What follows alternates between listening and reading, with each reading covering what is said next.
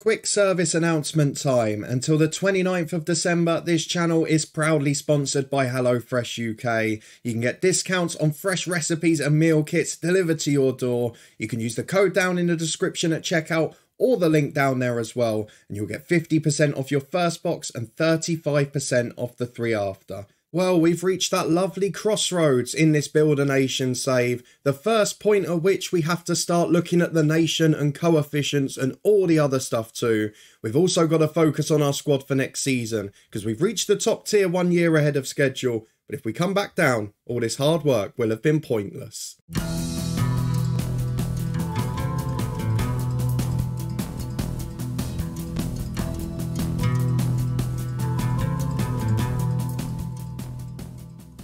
Yes, hello and welcome along to part 35 of Lifting Spirits with me, Daniel. We're back today to review season 4, deal with the crossroads that we mentioned in the intro, and of course, after winning that epic title race with Portadown, we are preparing for life in Northern Ireland's top tier. So if you're looking forward to all of that, as we start to shift the balance from building a club to building a club and a nation, then please do put a thumbs up on it. We'll talk about coefficients, of course, and all the other nerdy stuff we used to focus on with Bangor City and FM21. But first and foremost, We've got to stay up next year. The plan was to be in the top tier within five years. Yes, we've done it in four, but if we come back down next season, we will have technically failed our objective. So it's very important that we build a squad to stay up and that we live within our means because financially things are not looking great. And that ain't going to change till we're in Europe, let me tell you that.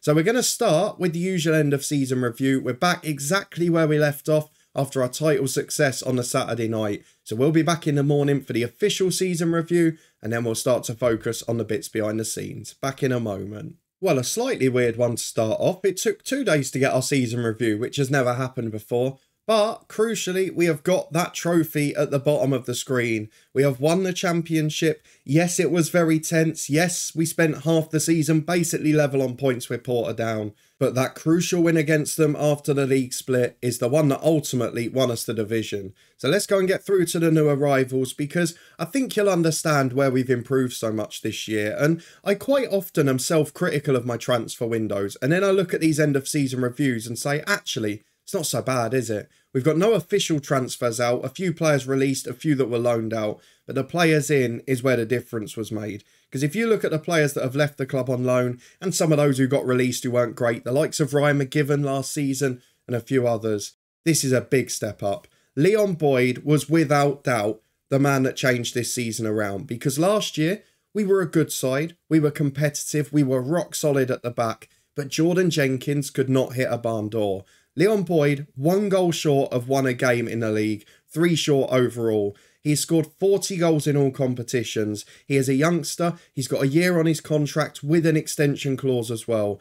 We are guaranteed Leon Boyd for at least two years if we want him. And the way he's playing, I have no doubt that, of course, he won't do the same, but he'll score goals in the top tier. And maybe, just maybe he'll be that first one who gets an offer from another club. A lot of other players that deserve a mention too, a few coming from the Republic of Ireland, the returning Chris Latifa permanently. What a player, he'll be crucial in the top tier. Oren Crow grew into his role in the second half of the year. Greg Ocox, the man who featured in every save, not bad at all. Let's be honest, he did the job he needed to. He's a solid squad player.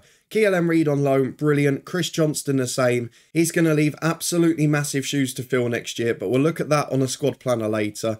Darius Ruhi was okay, probably won't get a new contract. Ada McDowell, we know is coming back. Beck, I hope we can do the same with. And James Convey, despite that red card in one of the last games of the season, a really good addition to the squad. I'm not sure what order they're actually in. If we go in average rating, Latifa, Convey, Boyd. What a three set of players they are. Fabulous stuff, great players added to the club. But next year, we're going to have to shift the balance a bit, and we'll talk about what I mean in a moment. Let's go and get through for a season to remember, as in this save, we do get to see the league table. Four points clear, it looks a lot better than it was. In the final day, we were one point apart. Portadown lost their final game, we nicked it 1 0, and that was the crucial difference. But otherwise, what a year. We had a couple of sticky little spells, that four without a win, starting with Portadown in October. And it did come down to the Portadown games, didn't it? 4 all in the first one, that 1 0 defeat in the game we dominated in December. Then we had the boring 0 0 draw just before the league split. That one kept us in the title race. And then the 3 1 win that sealed it with four games to go. In a Northern Irish Cup, we had a nice run, beat Coleraine but got dumped out by Glentoran in the end. In the League Cup, Glenavon, top tier opposition, yet again put us to the sword. And Carrick Rangers, perhaps a disappointing one, as we lost in the first round to another top tier side. But if we can compete with those sides next year in the same way, over a 38 game season, I have no doubt we can fight to stay up. Let's look at the moments to remember. Biggest win was in December against Bangor, a 6 1 away win. Pretty sure we showed that on camera, didn't we? We then had a 3 2 win as the match to remember in the League Cup. We definitely showed that against Crusaders. Big help from them going down to 10 men when they were 1 0 up and dominant. And in goal of the season, who was it? It was James Convey. Early goal, a good free kick, and it was in a 3 2 win. It was crucial in the end. Let's get through the finances, which do not look good. I'm hopeful that the sponsorship, the broadcast, and all the other stuff will go up a bit next year. We're into the top tier. It might take a year to fully get over, get to that national reputation, get to the stage where people recognise us and get more TV games. But initially, it's going to make a big difference. Whether we can get out of debt before we get into Europe, I'm not so sure. It will either take a player sale or it will take a European playoff. One of the two. How did we line up? I know a lot of people have had problems with this screen since the update. Not me, though. That is pretty much spot on. You could argue in midfield, maybe Beck gets in ahead of Crow. There's an argument perhaps to be had for Reid above McDowell as well. But other than that, that is the 11 we've used all season. I can have no complaints. Through to the accolades. What have we got? Four Manager of the Month awards. We better get Manager of the Season as well. Orkin's discipline's awful. We knew that already. Boyd has shattered every goal scoring record. Johnston has broken the assist one. And Leon Boyd, bar goal of the season for Convey, has got a clean sweep of the awards. So excellent work from him. History in the making as we return to the top tier. The first aim ticked off from joining this brilliant club. We've got them back where they belong. Now, can we build on that success both for the club and later on for the nation? Let's go and get the dynamic manager timeline. What has happened in season four that we should be excited about?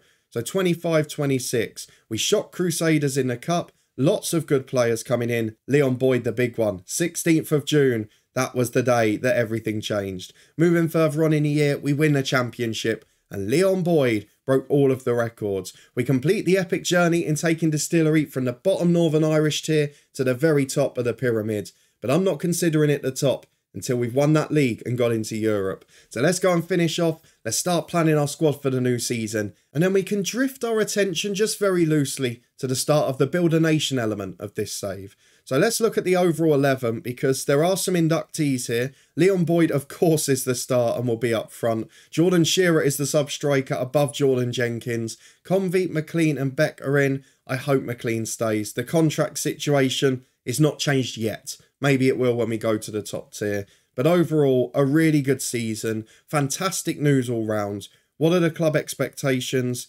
attempt to avoid relegation. I can live with that all day long. So we've not got the pressure of staying up in terms of avoiding the sack, but we know we want to do it, and I believe we can. We'll do all the team meeting stuff in a moment, the supporter profile update, more core fans, big social media increase. Maybe that will reflect in our reputation next year. And they're happy with everything, making the most of set pieces, possession, solid defensive football.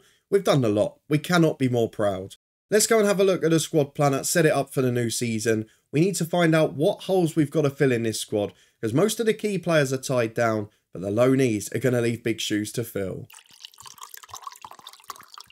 So just to make things slightly different to normal, we're going to start on the experience matrix, because I want to show you where players are considered to be in their development path here. And of course, we've generally got quite a young squad or a squad that's not played at the highest level. So I wasn't expecting to have loads of experienced players here. I mean, looking at it a bit more closely, actually, you could argue that you just go into experience when you're over 30 because there is an argument that Grego Cox and Foster certainly aren't at their peak anymore. But Mitchell and McGill, the only two real first teamers in there, and McGill, let's be honest, he is the weakest player in the team. He is purely there for that personality and that drive. What we have got, though, is a lot of very good young players, including academy ones. So I'm looking at this for next season. These are the players that are due to stay, bar Keelan Reid, who I must have forgotten to take an out of somewhere.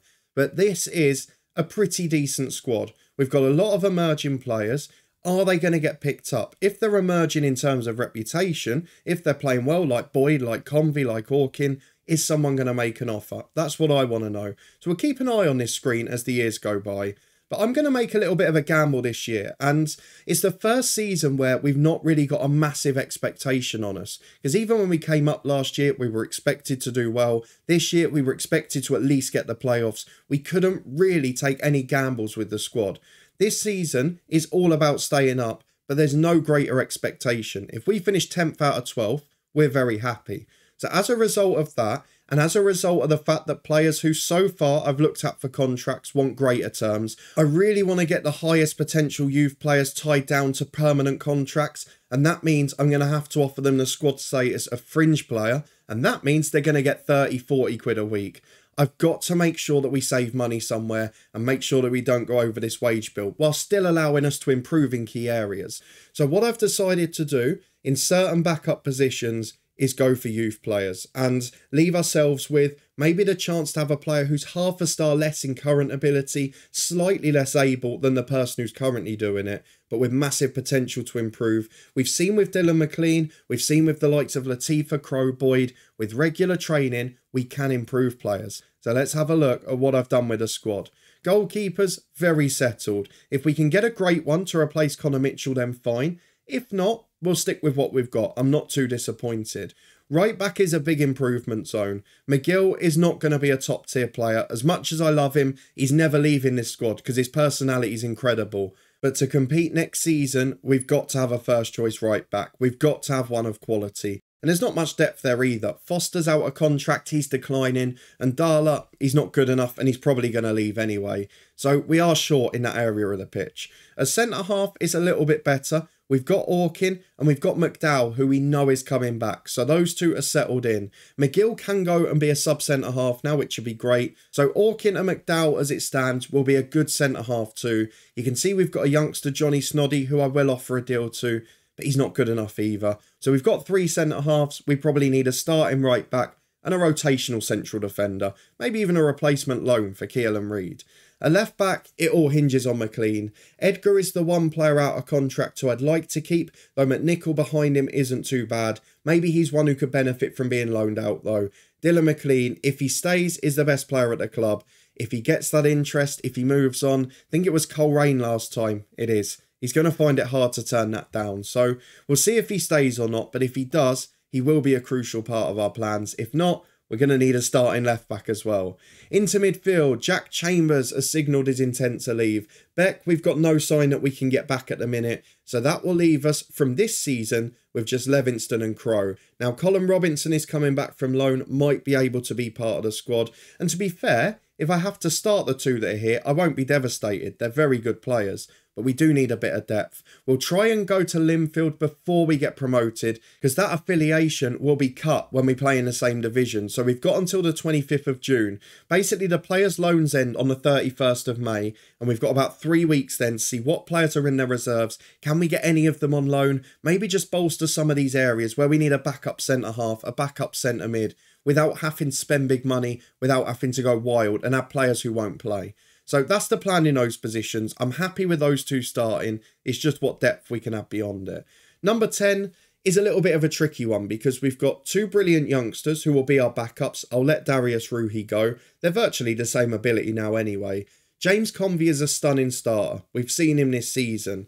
But the other caveat of that is he's also the only player who can play left wing because Johnston's loan is ending I don't think our chances of getting him back are too great. He'll probably break through into that Glentoran side. Darren Mallon is coming back from loan, is all right. We know Latifa can do a job. Grego Cox, we could offer a new deal who can play off both wings. So we're basically in the position where either we need a starting left winger or a starting attacking mid. And James Convey can do whichever one we don't get. So in fairness, we've covered nine positions now. The other two we know we've got good players. I think we only need two players for our starting 11, a right back and a left winger or attacking mid. Of course, it's going to be about adding depth and promoting some of the youth players, but otherwise, I'm really pleased with where we are. On the right wing, we've got Latifa. Matthew Buchanan is one of those I must get tied down to a contract. He is improving, he has played a bit of football. I guess the main question then is do we keep Grego Cox and loan him out, let him get a full season of maybe championship football? Or do we keep him here? I'd be interested to get your thoughts on that. And then up front, we know who's starting. Leon Boyd is the man. Marty Bell is improving a bit, just his personality does not caught up. And then Sergiño, Convey, they can cover there. So it's only really if we can find a loan player as a backup, because Leon Boyd is definitely the number one at this club. So really good side overall. I'm only planning to replace two of the starting 11, but we're probably going to need six or seven to add to the depth. Lots of the young players will either get contracts and go out on loan or stay here as backups in some cases. And I think that we're going to have a good season. I don't expect us to reach the top half or get to Europe or anything like that, but I do expect us to stay up. And if we can keep these players, we will be all right. I've no doubt of that. Of course, the big issue is with us winning a league, with us getting promoted, are we now going to get offers for some of our players? They're going to be more noticeable. They're emerging talents. Are they going to get picked up by others? That's what we've got to watch out for here. But with that done and with the club focus done, we've got most of our team tied down for next year. You've seen a lot of players we've worked on getting those contracts over the line. So it's a good half of the squad already, and certainly the core and the spine of that starting 11. We know McDowell's coming in as well. And if we can renew the loans of Beck, Reid, and Johnston, we probably don't have to do anything bar a right back. But let's go and start the bit of this save I really enjoy now, which is the shift towards the nation. Because as we get to the top tier, we've got to start worrying about other clubs as well. Can we give players to other clubs in the nation? Can they do well in Europe? Can we help them improve? And although we're one of those who aren't dominant yet, it's going to happen in the next few years. We do know that. So let's have a look at the European coefficients and see how Northern Irish clubs have been getting on, because that's going to be a big part of the next five years. When we get to Europe, we need the other clubs to have already established themselves. So these are the screens that we haven't looked at. I think it was the first season, maybe the second, where Linfield did really well. And we haven't had a look since to see how that's been followed up. I know that the title's been spread around a bit. Larne have won a couple. I think Coleraine have won one as well. But where are Northern Ireland in the rankings? Because they start right down near the bottom. Oh, they're up to 38th. That's not bad going. You can see they had one really poor year in 23 24, but they are doing okay and fairly consistently. So they're staying in and around that position for now. It's a big jump up to get into that top 30, which I think is where you start to get better qualification routes. Let's have a quick look at the places. It is. So when you get up to 32nd, in fact, that's when you start to get one team into Europa League qualifying rather than Europa Conference, which just allows you to start building up. And then when you get to sort of 24, you're getting in later in the qualifiers. But that's a long way away for us. What we want to do is get this nation up to 32nd. That's something we're not going to be able to contribute to for the first few years, other than maybe selling our best players to the top sides. So let's see which clubs have been doing the most and which clubs we expect to improve in the next few years. If we get them in order of nation and go down to Northern Ireland, I would expect that Larne and Linfield are probably the best. So, Linfield, we're still listed in here. I've no idea why. We've got absolutely nothing in recent years. I guess there's so few clubs that have done it. But looking at Linfield, they are without doubt the best in the nation. So they had a really good year in that first season, and they had a pretty spectacular season the third time around. Last season obviously went out in qualifying again, but still did all right. And I think that looks like the issue. When Linfield are winning the title and getting into Europe, they're doing really well. Larne have struggled a bit more by the looks of it. Coleraine have offered next to nothing, and nobody else is really getting that involved. Last season, Glenavon got a point, maybe they won one game but there is no real depth to the nation here. So that's something that perhaps is going to be an issue moving forward. We do need the same sides qualifying every year for now, getting that real two, three horse race at the top. So let's have a look at how Linfield got on this year because they've got massive points there. They got to qualifying this year, but last season they got into the Europa Conference League groups. How did they do? Right, they got through to the knockout round. So that's definitely where the success has come from. Larne, unfortunately, have not done quite as well. And that's annoying because they've won the league again there. Have they been spending money? Only a little bit. So they're perhaps not improving enough to do well in Europe. I am just interested to see, actually, where the big money has been spent, if at all. If we get in order of fees for the top tier, the most money that's been spent is Linfield and Coleraine, in fairness. Going back the season before, there's not a lot from Larne, which they are sort of the money boys of Northern Ireland as known, but Linfield seem to be getting the bigger players within the nation. Warrenpoint are signing players for massive money. Don't know where they're getting 175 grand from. And going back the previous years, there wasn't a huge amount. More players going out than anything. So that's definitely an area that's got to improve. The league itself is flying up the competition reputation. It's up to 72nd. It's level with League 2. So it's done a really good job to build itself there. And we're going to hope to contribute to that later down the line. And having a head start before we already get to the top, that's going to make a really big difference. So we'll keep our fingers crossed for Larne next year. Did Linfield finish second at least? They did. So there's going to be some European football for those two. And then it looks like it's Glenavon, Coleraine and Glentoran that keep battling it out for the last two spots. So once those four are settled in, we'll try and join that pack in a couple of years' time. Maybe we can start to build the nation as well as the club. Of course, next year's end of season review will include the bookmark where we have a look at all of the leagues and see what's been going on in the first five years of this save. But for now, that is our end of season four review. Probably one of the most epic title races we've ever had against an AI team. To be level on points in November and then in April as well, really massive. We will reflect at the start of the season as well as on our transfers as to whether Portadown or Newry or Ballyclare are joining us in the top tier next year. But for us, not a massive change to the starting 11. Let me know if you agree with what I've suggested on the squad planner. Let me know what you think of the Northern Irish coefficient performance so far. And how long do you think it will be before we can maybe edge towards Europe in Northern Ireland's top tier? Let's just worry about staying up for now. If you did enjoy this episode and season review, please do chuck a thumbs up on it. Everything looking great off the pitch. We'll be hoping that's the case when we come back again. If you want to find out and see what we do in the summer transfer window, then do subscribe and turn that notification bell on. We've got daily videos from two long-term stories as the head coach will be back tomorrow at half three. And then we'll be here in two days' time with a summer transfer special at Distillery. Top tier football is arriving in Northern Ireland. I'll see you there for that one, and I'll put the head coach above my head now.